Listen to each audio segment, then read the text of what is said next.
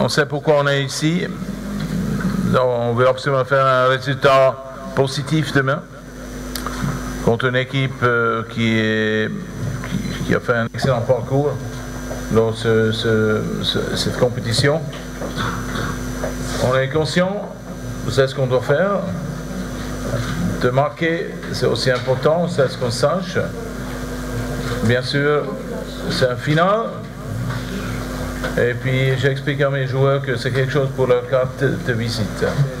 المباراة مش مش أول مباراة لنادي الزمالك في المغرب إحنا يمكن في البطولة دي لعبنا أكتر من مباراة في المغرب والحمد لله أدينا فيها ب- بصورة كويسة أكيد المباراة النهائية ب- بتختلف عن عن المباريات السابقة كلها بس إحنا بيبقى نفس التركيز اللي إحنا أدينا بيه في طول البطولة بنبقى مركزين فيه زيه بالظبط في النهائي. طبعا المباراة مختلفة شوية لأن معظم اللعيبة ما لعبتش نهائي أفريقيا قبل كده.